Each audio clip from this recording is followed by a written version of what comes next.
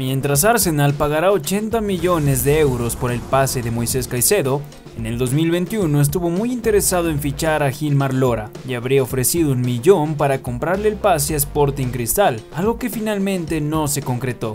La abismal diferencia se debe al gran momento del mediocampista ecuatoriano, quien con apenas 21 años demostró toda su calidad brillando en el Brighton, club que invirtió apenas 5 millones en el 2021. Su participación en el Mundial de Qatar 2022 también ayudó para que su valor en el mercado creciera exponencialmente, mientras que el lateral peruano cortó su crecimiento en la pasada temporada. Luego de debutar en la Liga 1 el 2019, en el curso siguiente el rimense sumó otros cuatro partidos que le permitieron ganarse la confianza del técnico Roberto Mosquera, quien le dio la titularidad.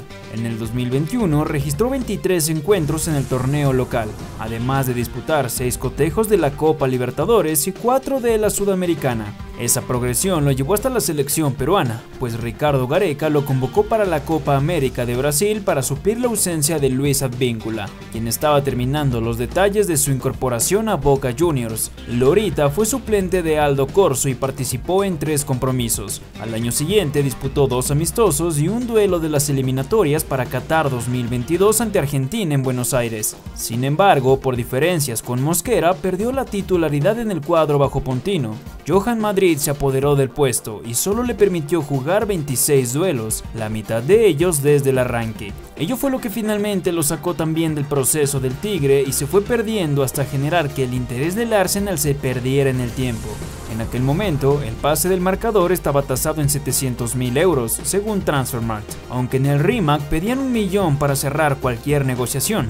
Hoy su ficha cayó a 500 mil, pero con 22 abriles está decidido a recuperar todo el tiempo perdido para dar por fin el salto al extranjero. Desde la llegada del brasileño Thiago Nunes a la conducción técnica de los cerveceros, Lora se enfocó en recuperar la titularidad y durante la pretemporada le ganó la partida a Madrid. Este curso promete ser el de su despegue definitivo. Tiene además el objetivo de volver a la bicolor, y el entrenador Juan Reynoso lo tiene en su lista de jóvenes que deben ser parte del gran recambio general junto a Piero Quispe, Percy Lisa, Yuriel Celi, Jesús Castillo, Kenji Cabrera, Catril Cabellos, entre otros. Estoy seguro de que voy a revertir este mal momento en lo personal y voy a tener el buen rendimiento que venía teniendo. Tengo que pelear el puesto con Johan como lo he venido haciendo. El hecho de no saber si voy a ser titular hace que me esfuerce cada día más. Si es que me toca estar, que me agarre lo mejor preparado posible. Prometió en la recta final de la Liga 1 pasada. Con la lección aprendida, no quiere dar ni una mínima ventaja. Este 2023 será la clave en su carrera. Si no retorna a la bicolor y se marcha al exterior,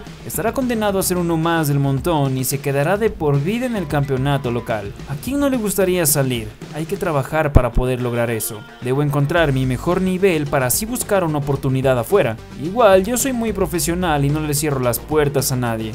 Agregó. A finales del año pasado estuvo en la agenda de Alianza Lima. Le hicieron llegar una buena oferta, pero en la Florida la descartaron y pretenden que el lateral cumpla su contrato hasta diciembre. ¿Y tú qué opinas? ¿Te parece que Gilmar Lora tiene condiciones para destacar en el extranjero? Te leemos en los comentarios. Dale like y síguenos para conocer toda la información del fútbol. Y recuerda que somos el futbolero, el sitio del hincha.